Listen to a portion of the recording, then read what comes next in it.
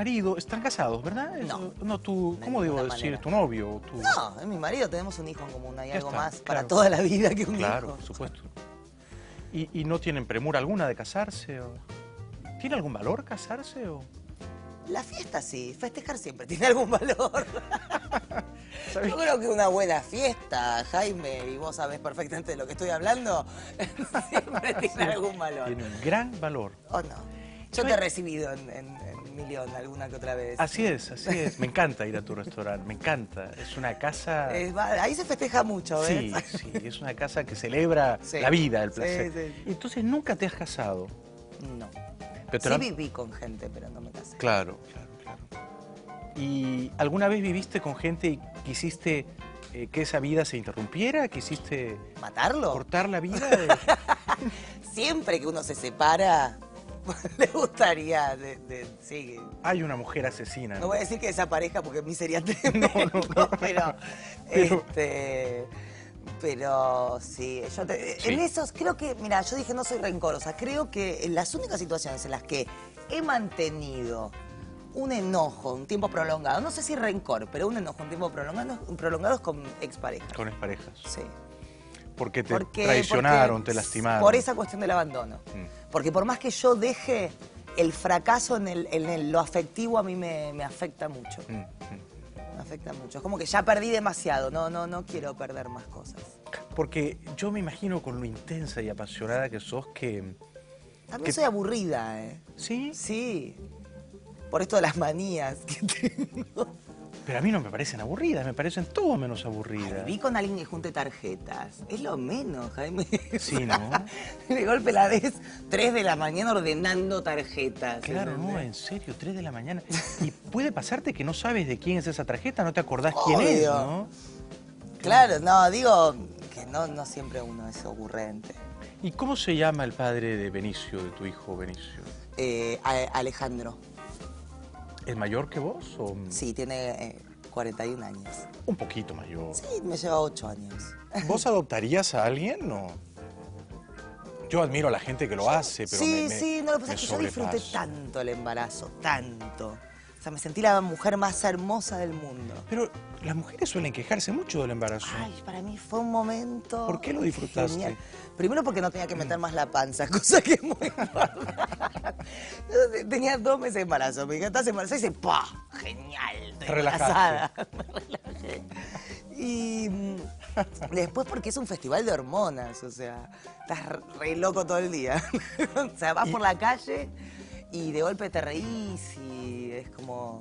Y además la gente tiene que perdonar tus locuras, consentirlas todas. Es decir, Sí, pero a mí Tenés la derecho a estar loca, ¿no? Yo la pasé muy bien. ¿Comías muy mucho o no? No más de lo normal. Lo normal. Tenía mucho más sexo que ahora, por ejemplo. ¿En serio? Sí.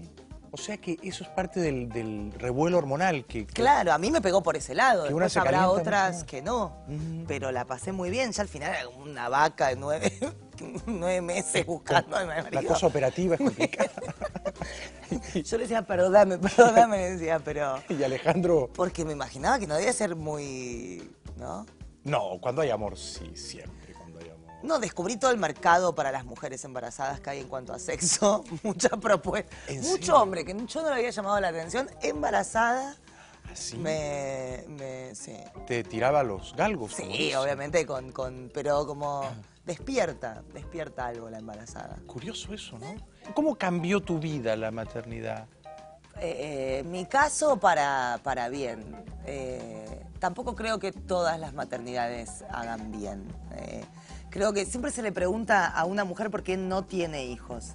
Yo haría el ejercicio de preguntarle a las mujeres por qué tienen hijos. Es cierto. Y muchas se quedarían sin palabras. Porque hay mucho mandato en, en tener hijos Sí. y a veces no se vive felizmente. A mí me pegó muy bien. Lo busqué. eh, Fue planeado, claro, deseado.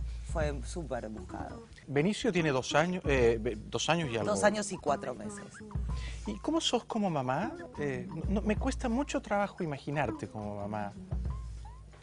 Lo, eh, ¿Vos lo no cuidás a él o él te cuida a vos, digamos? No, hay algo de, de justamente de no cuidado que yo tengo, que a la larga es cuidado. Mamá me decía siempre, yo tenía, tengo perros, siempre tuve perros. Y siempre decía que como que yo los tenía ahí, a los perros, y que se iban a hacer malos, me decía, porque no los educaba. ¿no? Tenía que darle más dedicación, que no tenía que... Y mis perros siempre fueron muy boludos y muy buenos. Algo así me pasa con, con mi hijo. Tengo la cosa de la no eh, hiperestimulación. A mí me gusta que, que él se sume a nuestra vida como uno más. Eh, y de hecho lo, lo practiqué así, o sea, yo a los dos meses ya había vuelto a laburar, le di casi dos años teta, Ah, caramba, eso es un montón. mucho tiempo, porque creo que le hacía bien. ¿Por qué? Es importante. Porque le hace bien, Sí. porque es un buen antibiótico en vez de dar tanto remedio. ¿Y a vos te hacía bien? A mí me encantaba, me encantaba. ¿Y a tus pechos les ¿Nunca hacía miraron bien? mis tetas con la cara de amor con la que me miraba mi hijo? Y de hecho mi marido le decía, ¿qué te miras así? Mira cómo están, después de dos años. Tremendo. Pero mi hijo, mi hijo estaba enamorado de Elias. Eso es, eso es fantástico. Sí, Eso es es- fantástico. No, y la verdad es que creo que le hacía mucho bien y el vínculo era natural, como todo vínculo, si los dos querían, está bien. Claro. Eh, si no, nadie obliga a nadie. Y contame un poco de tus perros. ¿Cuántos perros tenés? Ah, tenía tres y ahora tengo dos. ¿Porque murió uno? o por- Sí, pobrecito. Mm, Sí. ¿Lo atropellaste? No manejaba. No. No, no sabemos. Sabes que lo mandé a hacer autopsia y todo, pero suponemos que lo envenenaron, pero no lo pudimos detectar. ¿Un vecino? Yo vivo en el bajo de, de la Lucila, una cuadra del río. Hay muchos perros sueltos, sí. Está bueno. Vos, claro, vos estuviste ahí un ahí, tiempo. Sí. Ah. Es bueno ese barrio, porque uno puede caminar o montar bicicleta Muy y el aire es más puro, ¿no? Sí, está buenísimo. Eh. ¿Con tu hermana has practicado el, el boxeo amateur o el cachascán? Sí, la nos lucha hemos cagado libre? trompadas Sí, muchas veces. mucho. Sí. Porque eso me contaron, que se han peleado mucho en la vida. Sí. Es normal entre hermanas. ¿no? Obvio. Pero en algún momento eso se acaba y la cosa mejora o en realidad no? Cuando creces ya podés pasar de ciertos temas. Eh, la adolescencia es muy heavy, porque aparte está la competencia, está la- romper con tu madre, Claro. romper con tu hermana. Para mí mi hermana mayor fue como una segunda madre. Y entonces yo también no solo le tenía que dar explicaciones a mi mamá, sino también a mi hermana mayor. controlaba y, mucho, era muy... y siempre me exigieron por ser... Y el tema de la ropa es importante, ¿no? Nos peleábamos mucho, Mucho por la ropa, ¿no? Nosotros habíamos desarrollado tácticas para entrar por algunos lugares de la casa sin que la otra te vea. O escondites alrededor de la casa para y te cambiabas. Tenías una muda de ropa, ibas, yo salías, ta, ta, usabas la ropa de tu hermana.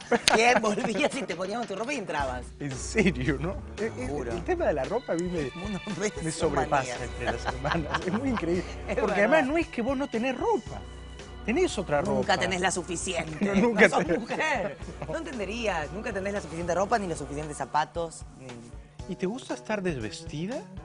desnuda andar en bolas Sí. por mi casa. O, o cerca de tu casa. Y ahora no puedo. Claro, es un riesgo. Ahora no puedo. ¿Pero Pero, te gusta? Pero era de andar en bolas, sí. Me- Eso, eso lo sospechaba, ¿no? ¿Por qué soy? ¿Por qué? No sé.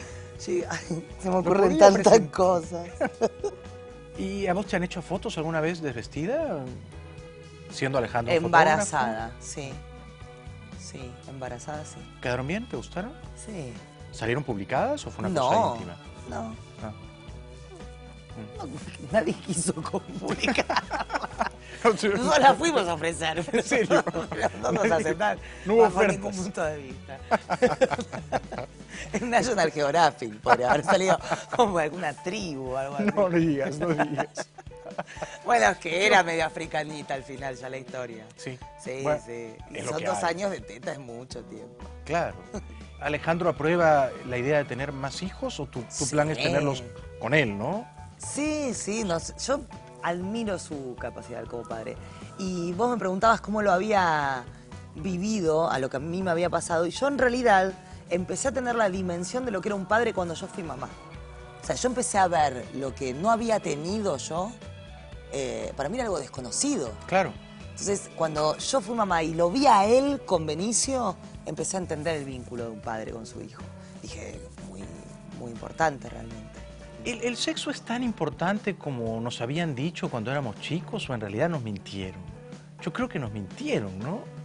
Yo creo que el sexo como práctica, como coito, eh, no es tan importante, pero la seducción y, y- y- y la búsqueda, de, el desafío de seducir sí mueve al mundo, me parece. Claro.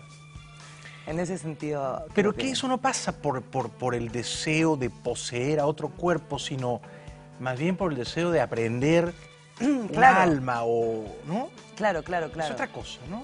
Yo creo que, que sí, que, que digamos que pasa un plano eh, más eh, de satisfacción, de autosatisfacción. Sí. La autosatisfacción sí es importante. Eso sí me parece muy importante y eso no nos lo enseñaron. Es más, nos dicen que no, Que no, ahí- desde muy chiquito. es otra gran mentira. Es una enorme mentira. Me piden que vayamos terminando eh, y yo quería. ¿Quién, Dios? ¿Qué te pide? Estás loco. Yo no te veo conectado a nada. Pero me envían unas señales que vos no podés ver. Ok. Pero si, si te ganaras eh, la lotería, eh, una fortuna incalculable, mucho más dinero del que nunca pudiste imaginar que tendrías, ¿cómo cambiarías tu vida?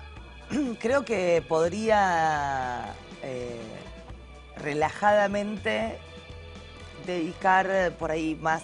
Yo soy muy miedosa del, del futuro, en el sentido de. de- de- Lo he leído. Tenés miedo de perderlo todo. de- Exacto, tengo el síndrome de la- del, del Sí. inundado, ¿no? Sí. De que en cualquier momento viene el agua y se lleva todo.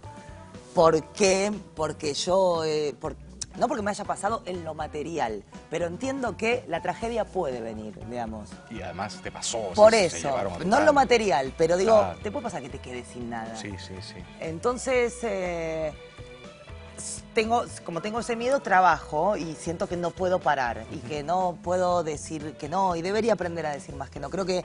Haces muchas cosas. además, Claro, y los disfruto, ¿eh? Lo que pasa es que en algún lado, obviamente, alguien paga las cuentas de eso. A veces yo misma con mi salud, eh, o a veces eh, O mi pareja, o supongo que mi hijo, aunque eso creo que todo el tiempo, porque soy madre culposa, obviamente. Ernestina, eh, he estado verdaderamente encantado de, de- de hablar con Yo vos. también. Te admiro mucho. Vos Sos- sabés que yo también. No, sos- y sobre sos- todo por cómo escribís, que es algo que tal vez... eh, Gracias. no, no sé, siempre se te conoce como tu lado público y polémico, y a mí me parece que sos un gran escritor.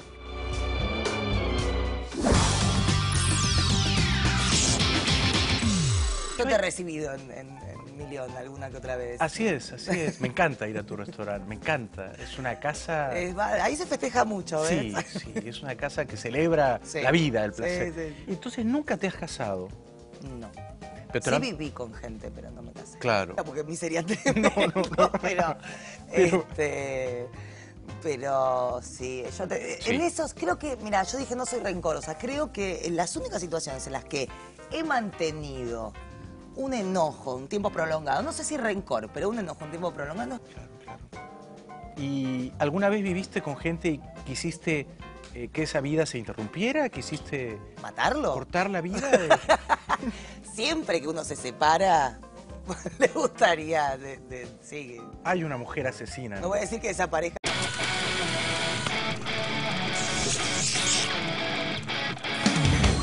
marido, están casados, ¿verdad? No. No, De ¿cómo debo ninguna decir? manera. ¿Tu novio? Tu... No, es mi marido, tenemos un hijo en común, hay Ya algo está, más para claro. toda la vida que un Claro, hijo. por supuesto.